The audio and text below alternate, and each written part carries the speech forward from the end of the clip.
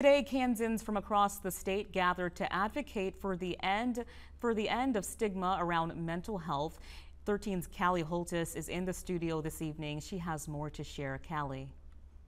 Today, the National Alliance on Mental Illness hosted a 5K walk at Topeka West High School to raise awareness for these issues. Let's hear what they have to say.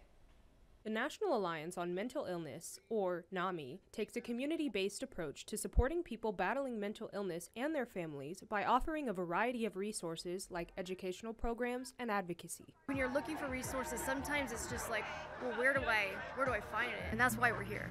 That's why we do what we do. For it's for the people and the people in those communities.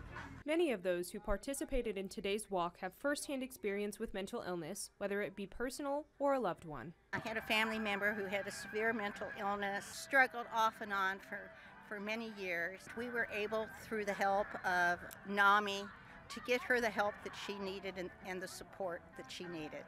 Peyton Keller, Miss Kiowa County, chose mental illness as her platform after her own struggles with her mental health. I am so thankful to the people of NAMI and educating not only me, but everyone of Topeka and everyone of Kansas. NAMI's work already reaches across Kansas, but hopes to incorporate all 105 counties into the network in the near future. And each part of the community is very proud of what they have to offer, and we, we're here on this National Day of Hope to celebrate that. Callie Holthouse, Channel 13 News.